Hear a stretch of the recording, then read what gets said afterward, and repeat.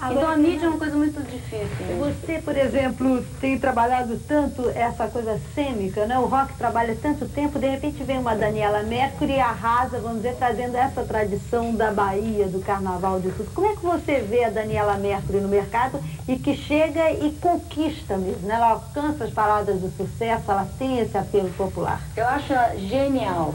Assim, eu adoro a Daniela Mercury, acho ela super legal.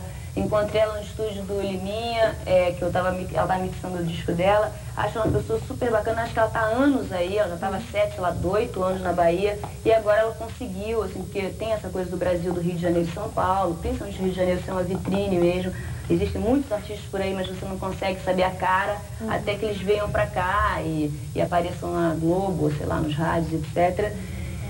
E Agora, eu acho que no caso dela é até um pouco diferente. Eu não acho que ela traz muita tradição baiana, não. Eu acho que ela tem uma. Um, acho que ela tem exatamente assim, o lado pop baiano, assim. Pelo menos o show que eu ouvi dela e, e até a maneira, a estética, assim, e musical dela, dos arranjos, das canções que ela canta, eu acho que traz a coisa pop, assim, uhum. né? Acho que não traz a coisa muito tradicional da Bahia.